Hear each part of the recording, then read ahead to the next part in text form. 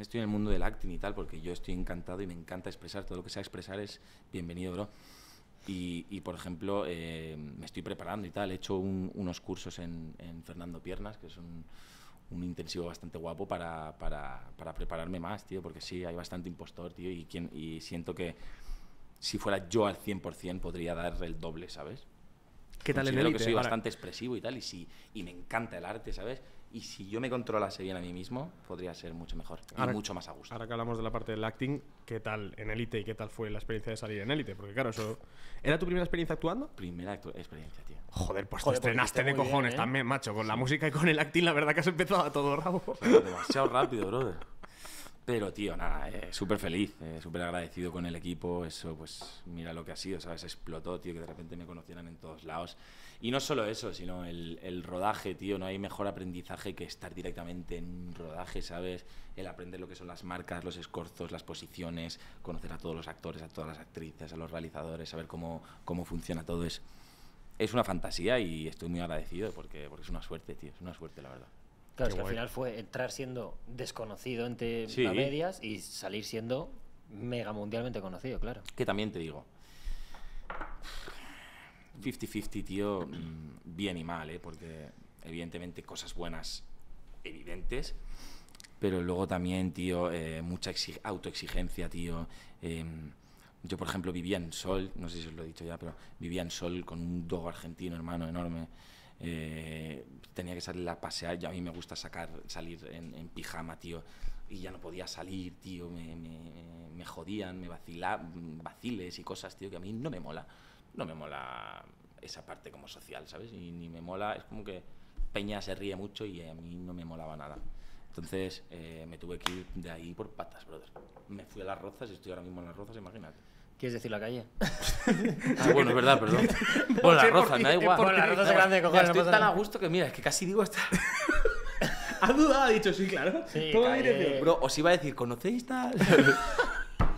El, A ver, el- va- ya por ti, bueno, lo habríamos cortado, ¿no? Si quieres que cortemos lo de las rozas, lo cortamos también. Bueno, o sea, no pasa nada, tío. Bueno, ¿Crees que tu personaje en Elite ha influido en cómo se comporta la gente contigo en la calle? Además de... O sea, entiendo que la gente flipará porque no hables eh, con toque francés. Claro, y ¿De porque la gente también... Joder, me está gustando mucho la entrevista, gracias, chavales. Y porque la gente también se piensa que yo... Soy un príncipe así de... No, gracias, no. Y no, joder, yo soy de un pueblo de San Agustín del, del Guadalí, coño, la corona de mi pueblo, de toda la puta vida, hermano. Y yo no soy un príncipe ni pollas, tío, ni tengo acento ni nada. Soy un tío normal, tío, de pueblo, con sus cositas, tío, como otros, ¿sabes? Pero me tocó hacer ese personaje y ya está. Lo bastante bien conseguido, ¿no? El personaje. No, de puta madre. Y por eso te digo que al final, el, cuando a uno le toca un personaje, es ese personaje. Y la visión que tiene la gente fuera, yo entiendo que la gente no tiene la capacidad suficiente para separar personaje de persona. Totalmente. Entonces es como. Por eso mi pregunta de: ¿te ha afectado mucho en plan a la hora de que la gente te trate en la calle? En plan de que piensen que eres. ¿Cómo se llama? La. Philip. Sí. Pensaba que iba a ser más, pero. mm, Pero sí. Ya ves tú, o sea, eso es, es lo que hay, es el, es el personaje. Pero sí, bastante, bastante. El acento me lo inventé yo, por ejemplo, tío. Bueno, muy bien. Os voy a decir una curiosidad, de hecho, el acento, tío. El acento fue porque eh, uno de los directores me decía que yo hablaba muy barrio bajero, que tenía un acento barrio bajero, que yo no podía ser un príncipe así. Y yo dije, bueno, si quieres, me invento como un acentito así, en francés. Y le encantó. Y coló, brother. ¿En qué hora, hermano? ¿En qué hora lo hice? Bueno, me parece top.